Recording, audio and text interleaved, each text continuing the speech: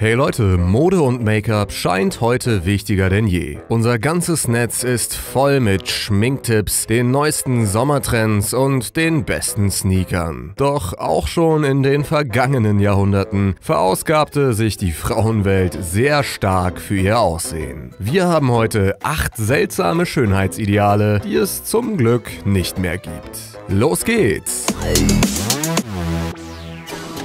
Nummer 8. Chopinen. Damen des 15. bis 17. Jahrhunderts schätzten Schuhe mit einem richtig hohen Steg, genannt Chopin-Schuhe. Dies hatte ganz andere Gründe als die Ästhetik, die heutige High Heels an den Tag legen. Die Schuhe sollten nämlich vor allem einem praktischen Zweck dienen, die langen Kleider der Damen vor Dreck und Matsch bewahren. Dementsprechend trugen sie diese Treter bei Anlässen im Freien, die sonst zu unschönen Kleidersäumen geführt hätten. Da der Steg teilweise bis zu 50 cm hoch war, mussten auch alle ihre Zofen diese Schuhe tragen, da sie sonst zu klein waren, um beim Anziehen zu assistieren. Und die 7. Grübchengerät.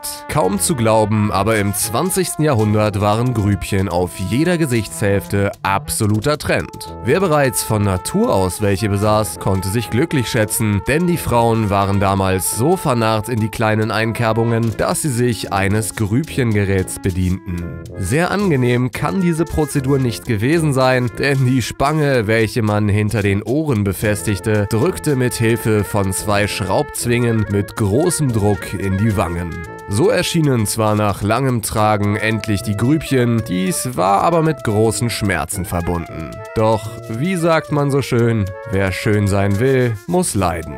Vielleicht einer der fehlleitendsten Sätze überhaupt. Aber machen wir schnell weiter mit der Nummer 6. Blaues Blut zeigen. Im England des 17. Jahrhunderts galt ein ganz anderes Schönheitsideal als heutzutage. Denn durchschimmernde Venen und blaue Äderchen gefallen Frauen eher weniger und werden fleißig mit Camouflage-Make-up verdeckt. Ganz anders vor ein paar Jahrhunderten. War keine dünne Haut gegeben, so malten sich die Damen mit einem blauen Stift kleine Adern auf Hals und Dekolleté. Dies sollte ihr blaues Blut hervorheben und ihren Status in der Gesellschaft Gesellschaft repräsentieren. Und die Nummer 5. Gesichtsschutz. Schon mal diese seltsame Kopfbedeckung gesehen? Im 20. Jahrhundert war sie eine Zeit lang richtig kult und jede Frau musste die schnabelähnliche Konstruktion besitzen. Tatsächlich diente das komische Ding als Schutz vor Regen und Schneefall, so verlief das Make-up nicht und die Frisur wurde nicht durch eine lästige Kappe zerzaust. Leider bildete sich unter der Schutzvorrichtung schnell Dunst und es beschlug genug, sodass es sich als Regenaccessoire nicht lange hielt. Nummer 4. Schönheitsfleck.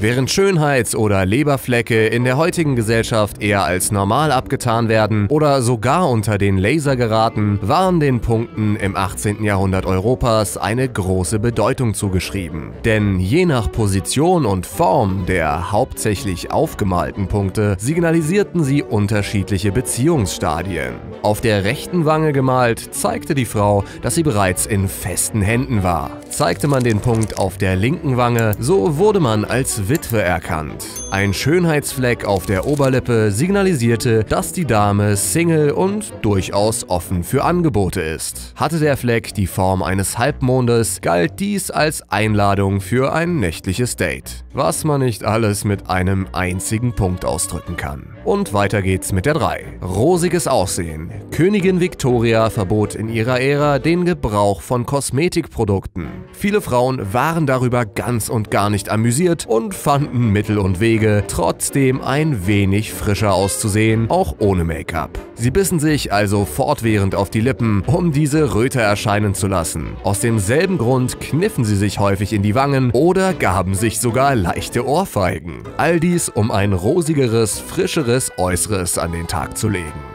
Ja, das lassen wir jetzt einfach mal so stehen. Nummer 2. Tschüss Haare. In Zeiten der Renaissance galt eine hohe Stirn, unauffällige Augenbrauen und unsichtbare Wimpern als absolutes Schönheitsideal. Zu diesem Zweck rasierten sich die Hofdamen sogar den Haaransatz, damit ihre Stirn größer wirkte und zupften sich sogar die Augenbrauen und Wimpern aus der Haut. Ganz allgemein wurde in dieser Zeit sehr viel für das Aussehen getan, die Frauen benutzten viele Kosmetikprodukte und der Körper galt als Kapital. Zum Glück hat sich dieser Trend nicht durchgesetzt, ganz im Gegenteil, die Augenbrauen werden nun immer dicker, die Wimpern immer voller und die Haare immer opulenter. Und damit wären wir auch schon bei der heutigen Nummer 1. Grünes Gift. Unglaublich, aber der folgende Trend hat einige Frauen sogar das Leben gekostet. Denn in der viktorianischen Ära wurde ein Färbemittel erfunden, das schnell zum Must-Have avancierte. Die Scheeles Green genannte grüne Farbe wurde vor allem für Kleider verwendet. Hergestellt wurde das Mittel durch eine Mischung von Arsen und Kupfer, was im Extremfall einen tödlichen Effekt hatte. Beim Tragen der gefärbten Kleidung kam das Mittel nämlich in Kontakt mit den Schleimhäuten und verursachte Entzündungen, drang nach einiger Zeit sogar in die Haut ein und tötete so langsam ihren Besitzer. Tragischerweise wurden auch viele Häuserwände mit dieser Farbe gestrichen, so dass Bewohner diesen tödlichen Stoffen ausgesetzt waren.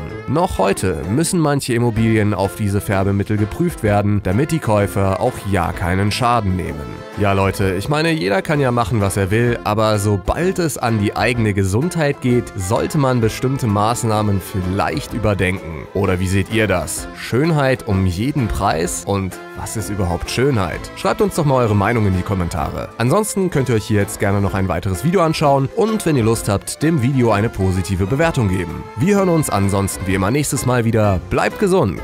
Peace out.